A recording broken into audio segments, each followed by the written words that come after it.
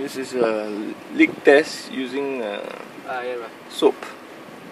And we have found the leak. You can see the bubbles. Oh, yes. Yeah.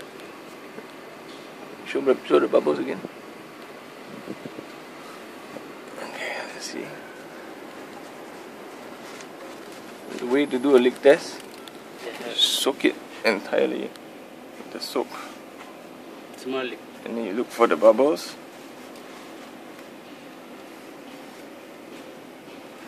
And when you see the bubbles, No, this one leak, uh, the oil down say. where? This one,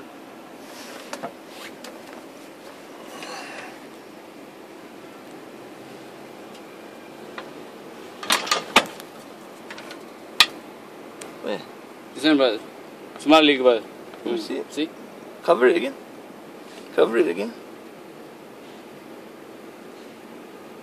Ah, found it. Mm. That's the culprit. Okay. So we know where the leak is. Yeah. Now what we can do is just double check the bottom. Make sure there's none others. Yeah, And then second. we will release all the gas and do the welding. Okay, excellent. Thank you very much. Well done.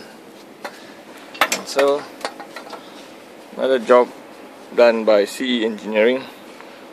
Thank you very much. Bye bye.